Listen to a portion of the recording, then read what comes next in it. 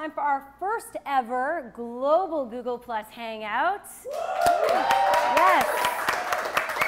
These are all historic moments, people. We have here in the studio, along with the Will of DC, please welcome Mistress of Moosh, Olga Kay. Hi, I'm tweeting, I'm tweeting right You now. are, we're doing everything s- s- like in the moment, in Yeah, real yeah. time I'm here. working- Instant tweeter. I'm working as we're speaking right Now now. you live in LA, but you are from Russia. Yes. And you've been doing YouTube for a while, but you have a new milestone stone to share with people, right? Yes, I would love to share. Um, so I've been, like you said, I've been doing YouTube for five or six years, and One I've of done the originals. right, right, and um, I've done so many things on YouTube. I did comedy, daily vlogs, cats channels, uh, dogs channels, gaming channels, and right now I just opened my new channel, and it's a beauty fashion channel. Very nice. And I've never been so excited. Yes. Yay. Uh, very appropriate, Miss Fashionista. Thank you. Now it's evolved for you. you so much, right? How has it changed? You're getting more opportunities than ever before. Yes, for sure. Uh, but also, like, even my work proce- process changed. I used to film with my laptop. I would, I would run around with this laptop with the eyesight, filming around islands all over LA and anywhere that I traveled. Now I have, you know, good cameras and lighting and writers and uh, editors. So there's so much change. It's a whole business. Well, Yeah. we also have our superstar Google Plus Hangout from around the globe. Lindy from Bubz Beauty in Hong Kong. Peru's Jose Romero, and from Auto-Tune the News, please welcome Michael Gregory. Hey guys. Hey. Woo! Um, I want to hear you guys out here if we can. Make sure I'm, I'm hearing you guys. There she is. Um, Michael, first off, for you, you've had many YouTube firsts. You were one of the first to create a song that hit the charts.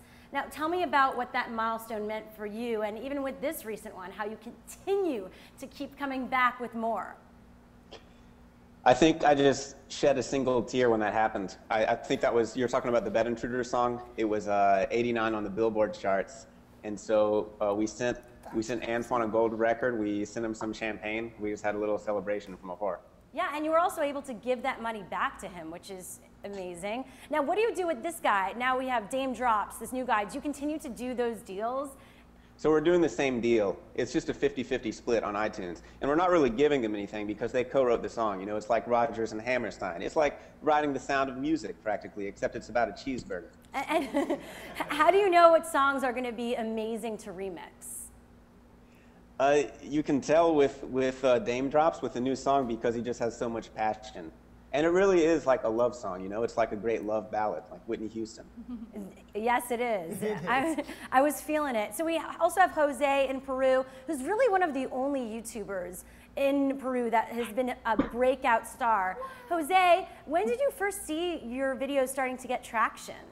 Hey, Shira. Uh, well, like in Peru, I started two years ago, and in Peru, like YouTube was used just basically to watch music videos or sport videos.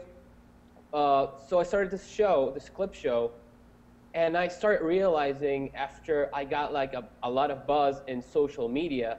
So when I got like to like 2,000, 3,000 fans, I was like, oh man, this is gonna be something, you know. And then started snowballing around. The, the, the first couple thousand is really when you start feeling it, right? Yes, even first 100, I remember posting my first video, and because I've seen so many people like Lonely Girl 15 and Lisa Nova, and everyone was commenting, and I posted my first video, I'm like, nobody's saying anything. Why is that? and then slowly people started watching, so that's, yeah. That's, But I feel like now you see a few thousand, you're like, oh, whatever, that's nothing, because people expect such big numbers. yes. A lot of things changed. Uh, now, to be really popular on YouTube, you re- literally have to have millions of views and millions of subscribers to stand out. And It's someone in really Hong tough. Kong who's here right now does have millions of views, over a million subscribers. Lindsay in Hong Kong. I want to bring you in here. How have you seen YouTube change?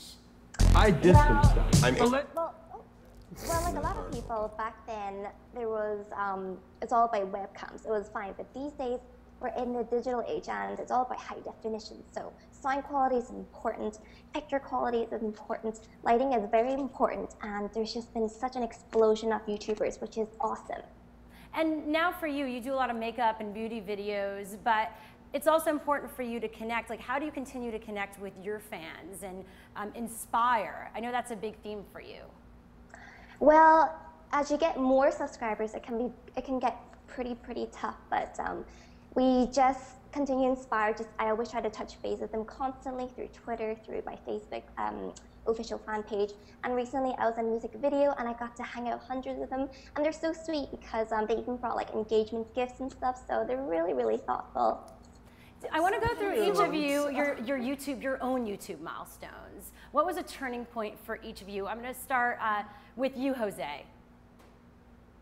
Like milestone for me for YouTube, like when I watched like a first video go viral, that for me was like so special, because you know basically like YouTube gives a window of the world to anyone. So I just felt that was like super important. Just people just sharing uh, moments, videos, experiences through YouTube, going viral. It's pretty big. Because he, I mean, while, while being in Peru, he, he, definitely has a huge worldwide audience. We have a lot of people talking in the chat right now going, Mox, Mox, Mox, Mox, Mox. So they're very excited Hello, Peru. Hello, everyone. Where are you all from? Let us know in the chat room. We'll give you a shout out right now. What was a turning point for you, Olga? Uh, well, um, I always say I've never been a viral YouTuber. None of my videos really went viral, but I've been doing it for so long. And I remember two years ago when um, I was approached to do Olga Kay's Circus. And I said, yeah, sure, let's put this video together. And 40 people were on the crew, and everyone was working together, and everyone was so excited when it came out. I it was remember, such a huge deal. Yeah, like everyone was tweeting about it. I was like, wow, we have a great community. And that was a big thing for me where uh, a lot of people recognize, you know, something beautiful and it, it was really, I think, one of the first short films that YouTubers did. Because yeah. I mean, that's what it was. It was such a.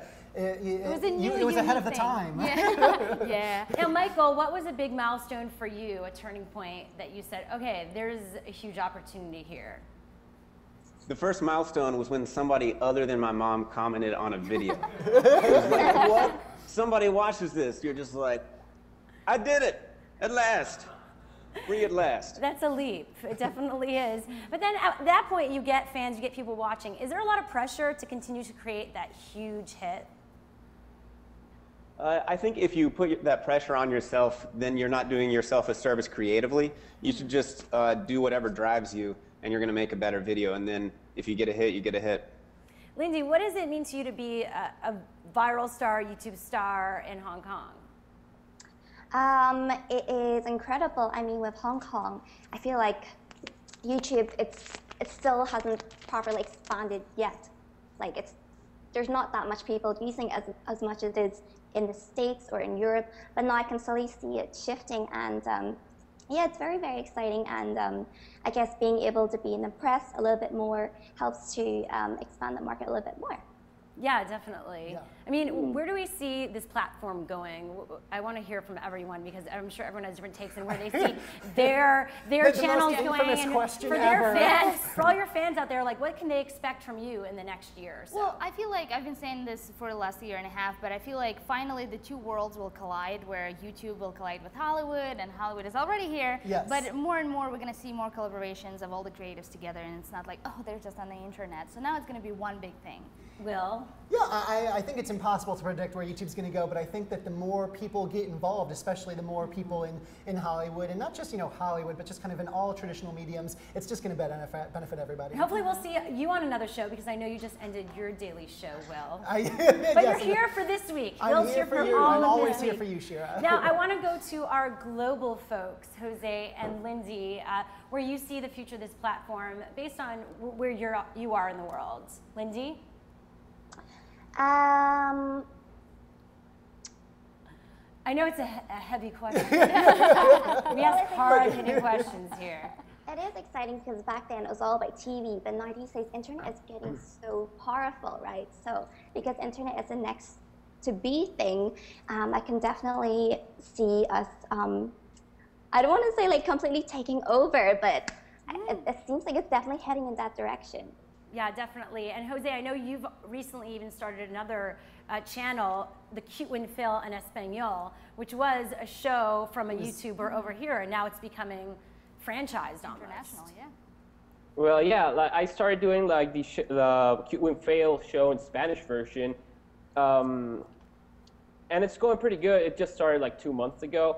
It's it's doing pretty well. Um, and to answer your question about YouTube in Peru, I, I just I don't know where it's gonna go, but I know it's gonna be the future because I started doing YouTube videos because um, I was my inspiration was based off American YouTubers. So what I wanted to do with uh, my show and what was going on in Peru and YouTube is just inspire people to make more videos so they can get into this culture, you know, get into the culture and, and more people can become YouTubers.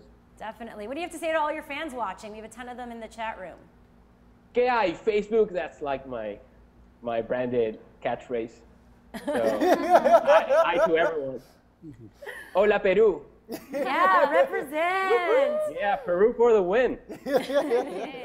Hopefully you'll come to LA at a certain point soon too. And Michael, finally for you, I know you're uh, you're going to be going to TV maybe soon with the brand with AutoTune the News. Did you expect that you guys were going to be where you are today? Never ever, never in a million years. Well, You've lived did. for a We- million years. Yeah, I was born like 900,000 years ago, so there's a little bit of exaggeration there, but and so, what do you have to say to Daym? Do you, do you have a, a thank you to say to all these stars that you've been able to bring to another level? Oh yeah, I was just talking uh, to him on the phone the other day. We were thanking each other. Um, I, I think he's probably going to be in New York pretty soon, doing some TV Very nice. So more to come, I'm sure. for sure. All right, thank you guys so much for joining in our Google Plus live chat. We really appreciate it. Hope to see you in LA soon. And thanks to Olga and Will for joining. Any last minute, any last minute shout outs from the chat room that we need to get to? Oh, oh, uh, uh, they- they're just saying their names over and over and over again. They love the them all out. so much. Well, thanks to Olga, thanks to Will for joining us today, and all of you for tuning in. And we really appreciate it. Remember, we're live every single day. Every so day. come back here tomorrow at noon.